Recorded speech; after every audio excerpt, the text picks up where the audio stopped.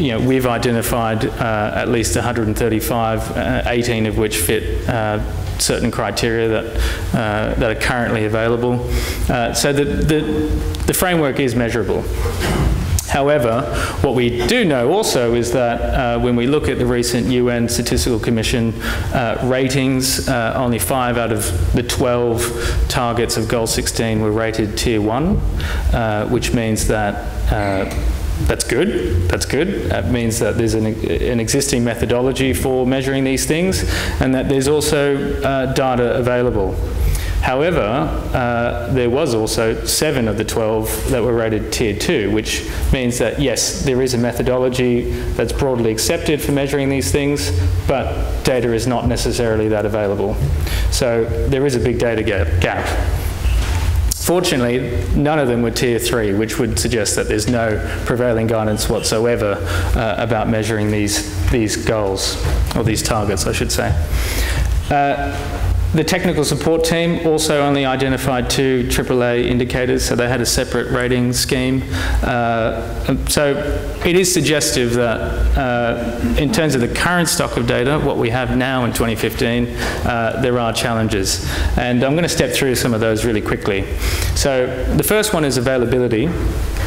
Uh, most of the data, as I've just pointed out, or at least seven of the 12, uh, don't exist.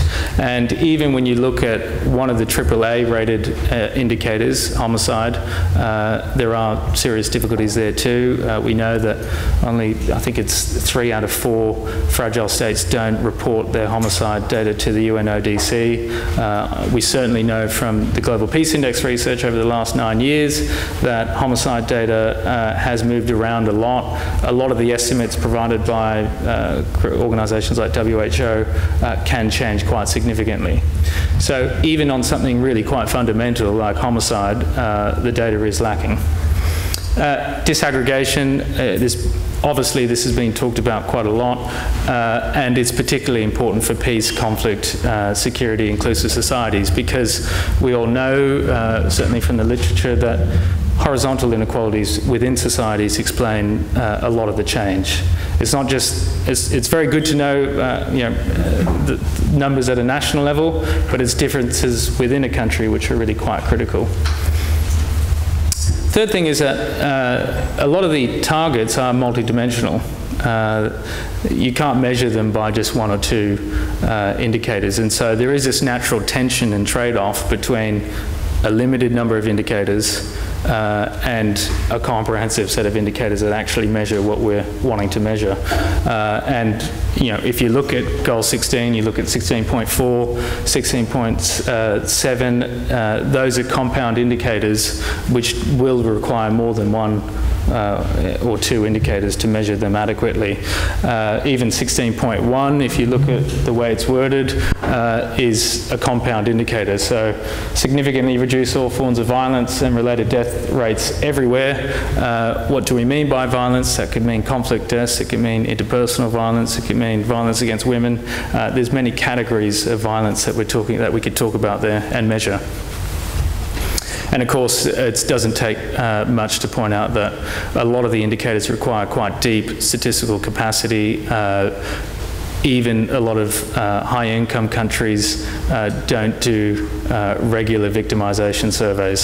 So the idea that countries that currently have poor capacity doing these things uh, is, is obviously a, a, serious challenge. And finally, the political viability of some of the goals. Um, I think that's, that's the obvious standout uh, challenge. 16.10 uh, is, is quite a good example of that. So I think the point here is that uh, the door just needs to be left open for some forms of uh, third party and expert assessment uh, to somehow work with the official administrative sources. Uh, and certainly Patrick did refer to that in his comments. I'm just going to step through some examples of some really top line third party uh, related data collection uh, that has been going on for many years and is currently going on and is relatively new. Uh, many people might be familiar with Transparency International's Corruption Perceptions Index, uh, perceptions data on perceptions of corruption in a whole range of institutions, uh, but also questions on bribery. Uh, and Transparency International have been doing this for quite some time with relatively little controversy. Uh, there's quite a nice data set uh, there already. Uh, World Justice Project, uh, looking at a multidimensional measure of rule of law. Uh, that's uh, survey-based uh, data covering 91 countries, uh, quite a big initiative. and then there's more innovative new initiatives. Um, Cordaid, the the Dutch uh, development organisations just developed a thing called uh, Flourishing Community Index, which is a very interesting and innovative approach to surveying on the ground, asking people uh, for, for narratives about their situation uh, rather than asking direct perception-based questions. Uh, and then there's a, the host of event databases like ACLED, uh, like the Global Terrorism Database, uh, which use uh, machine coding and, and, coding of media sources uh, to generate data from uh, these third-party sources. And these can be very accurate. And I'll talk a little bit about those. And then there's just technological innovations around SMS, which you know, really has a lot of promise as well. So really simply, I mean, there are strengths to these third-party sources. They're innovative, they're, they're cheap, they're a lot cheaper than uh, uh, official administrative data, uh, they're timely and practical.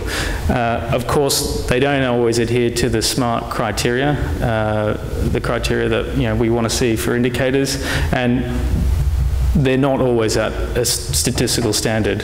And I think that's where one of the questions uh, lies for expert and third party assessment is do we actually need some of these data sources to adhere to administrative standards? Um, in some ways, sometimes we just need indicators. We need rough indicators to broadly indicate whether or not countries are going forwards or backwards on particular measures. Uh, I'm going to step through very quickly uh, a couple of uh, examples of expert qualitative data that is currently existing that, say, we generate the, with the Global Peace Index. Uh, there's a uh, an indicator on violent crime that we generate, uh, uh, scoring countries from 1 to 5. Uh, that would inform 16.1. Uh, there's similar indicators at the Mo Index. Uh, the Economist generates other qualitative indicators. Um, and these, these have been mentioned in the virtual network. The, the International Budget Partnership Open Budget Index is another one. Um, so there is existing data there that has been developed for many years, relatively uncontroversially, uh, with broad buy-in uh, that currently exists that can be used I'm just going to show one example of an indicator that is a qualitative indicator measuring something that is a little bit politically sensitive, uh, the political terror scale, which is a, uh, an indicator put together by uh, an American university uh, who code countries based on the level of political violence within their countries. So uh, they use the Amnesty International Human Rights uh, report uh, and the US State Department Human Rights report to code countries based on their levels of political terror. And again, that's, that's an existing data set that's, it, it goes back more than 10 years. Uh, as I said before, there's event databases. This is just an example of one. Uh, this is from the Global Terrorism Index, which we put together. Uh, very detailed data, geocoded uh, data on uh, the number of lives lost from terrorist incidents, uh, the level of property damage, the perpetrators, the weapons involved, quite detailed stuff. it's available for more than 15 years worth of time series, and it's updated every year and it's done so relatively cheaply. Um, one example of uh, a hybrid approach is a project that uh, we worked on uh, earlier this year with uh, INEGI, the Mexican Statistical Agency, on measuring peace in Mexico. Uh, uh, the Mexico Peace Index looked at negative peace at the subnational level as well as positive peace at the subnational level. And uh, thanks. And uh, essentially, uh, I think that's a good example of a hybrid collaboration. Uh, INEGI is a constitutionally uh, independent uh, statistical agency, highly professional, uh, and we could work quite closely with them in, in, in, putting some of their data into a composite measure uh, to use for advocacy. So some really top line uh, points on how expert and third party data can uh, help and fill the gap for goal 16. So the first is just in the absence of administrative data, uh, there's data out there that we can use. Pretty obvious point. Uh, it can address the need for composite measures if they are needed, and maybe they're not a part of the, the official uh, universal indicators. Maybe they get used at a, at a country-specific level. Uh, there are technical reasons why expert assessments may work better. Uh, so, for instance, on indicators where uh, that need, whereby you need to uh, compare across countries in a harmonized way on a transnational issue, it might be difficult for an NSO to do that. Uh, so uh, illicit flows is a good example.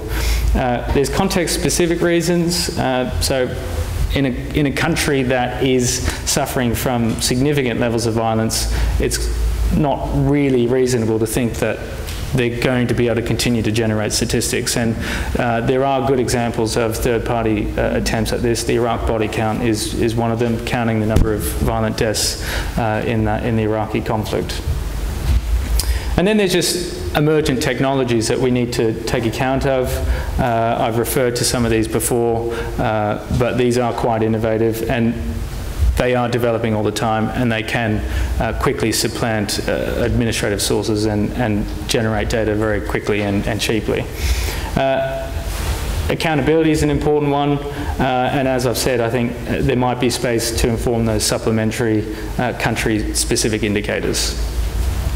So just in conclusion, just some really top-line points on how better peace building, better Goal 16 data could help things outside of the, just measuring the framework itself. Uh, there's, there's certainly scope to better increase uh, early warning for governments, uh, to indicate where the pressure points, uh, which things are getting better, which things are getting worse.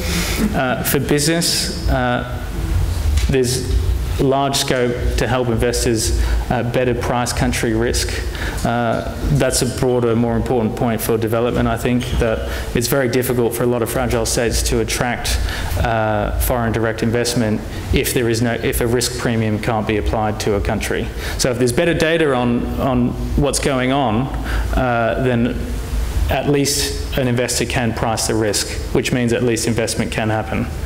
Uh, policymakers, obviously practitioners, uh, you know, the holy grail of peace building would be some kind of cost benefit uh, assessment methodology where you could work out the benefit of particular interventions.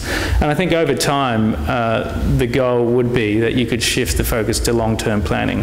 Uh, donors, it's a point that gets often said, too focused on uh, three to four year time periods. by generating this data and understanding the, the pace at which it changes, we can start to shift the focus to a long term, 10, 15 years, because that's how long these institutions sometimes take uh, to improve. And of course, just generating better data for uh, targeting and allocation of resources and uh, a better evidence base. So, conscious of the time, Sarah, I'll leave my comments there, and thank you.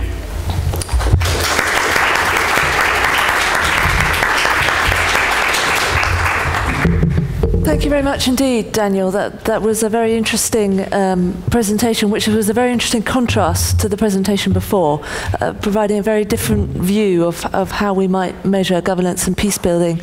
Um, aspects and, and I have a lot of questions about use by policymakers and so on, but I'm sure others do too.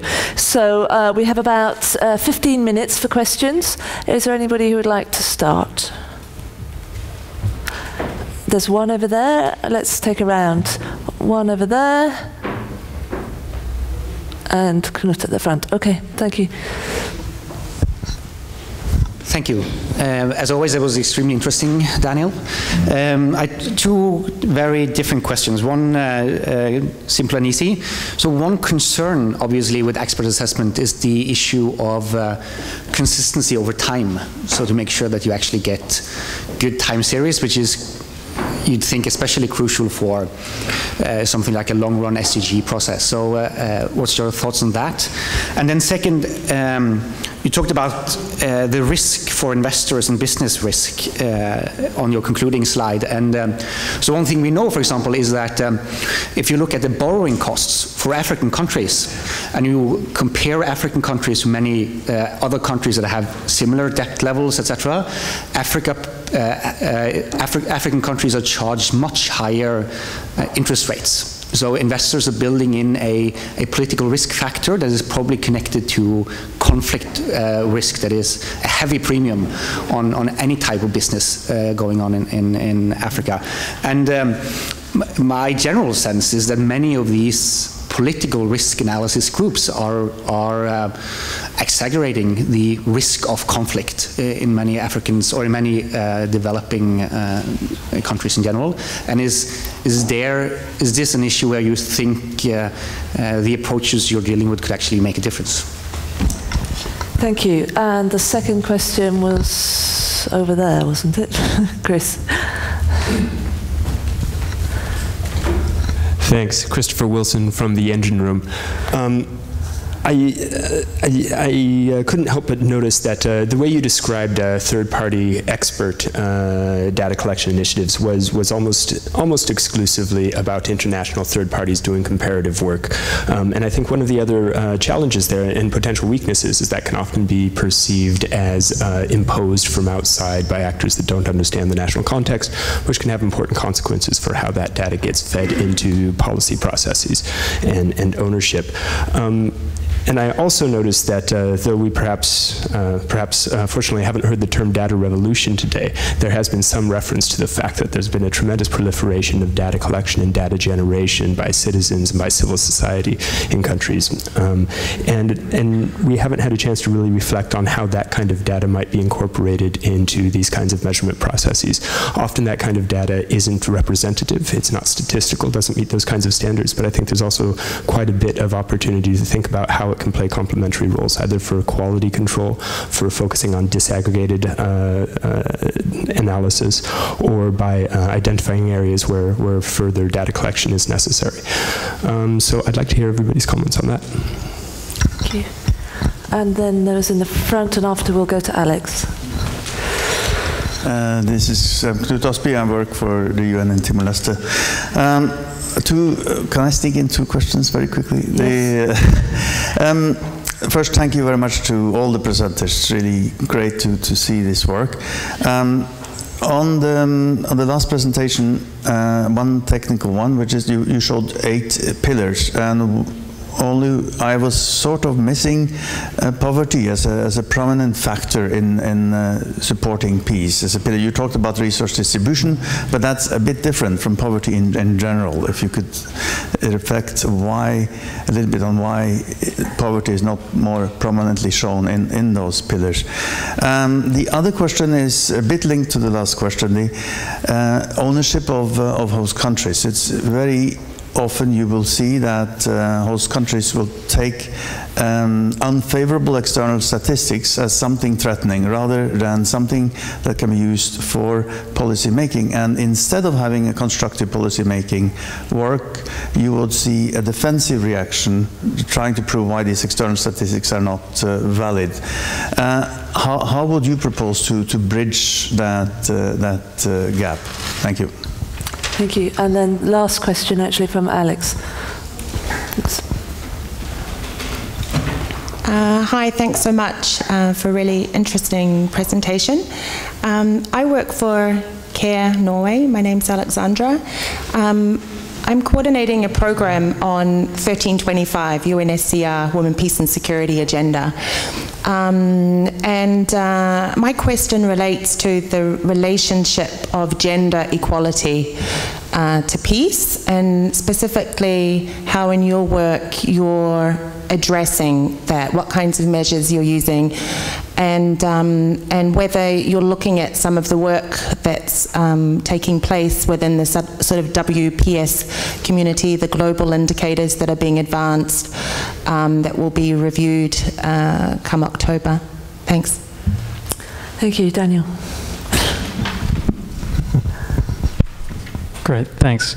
Uh, so, Horvath's question first. Um, how do we ensure consistency over time on an expert process uh, for indicator development? It's a good question. What's really critical, I think, is uh, the way in which expert surveys are constructed. So, really practically, they need to be based on very clear criteria and usually some kind of binary criteria that is not open to uh, interpretation. So over time, when experts change and when there's new people come in, uh, the you know, the opinions don't change. They're not subjected to those uh, objective kind of subjective uh, beliefs.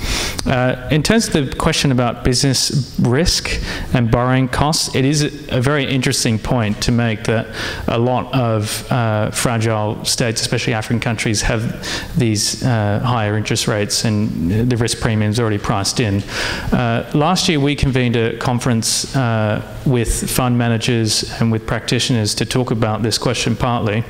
And what we learned is that the way in which a lot of big funds funds actually do uh, risk assessment is really quite crude.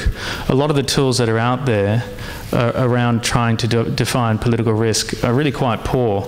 And the way in which people do investment is still often through personal relationships.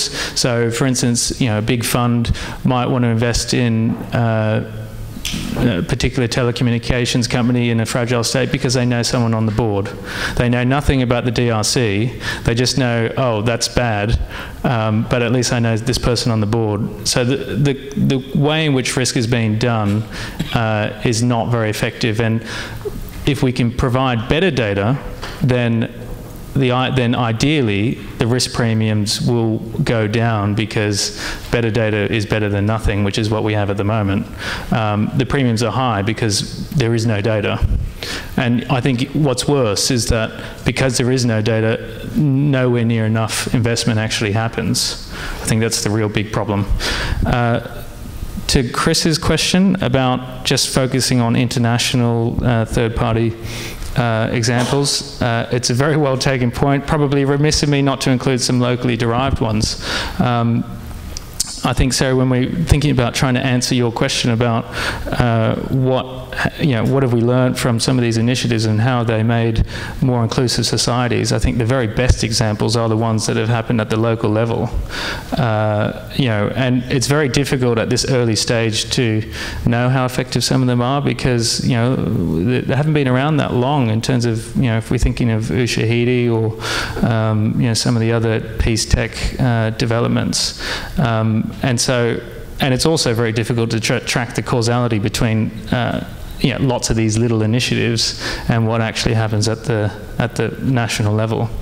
I think there's a really good example of um, uh, a project called Map Kibera, which was uh, locally led uh, uh people who got together to map the Kibera slums, uh, where almost one million people live. Uh, previously, there's no map of this area, and so the government was very appreciative of that because they could begin to understand where services need to be delivered and uh, where the gaps are in water and sanitation. So that's a really practical example of uh, of a locally led uh, data project that's actually had a, an impact in terms of delivering better uh, services.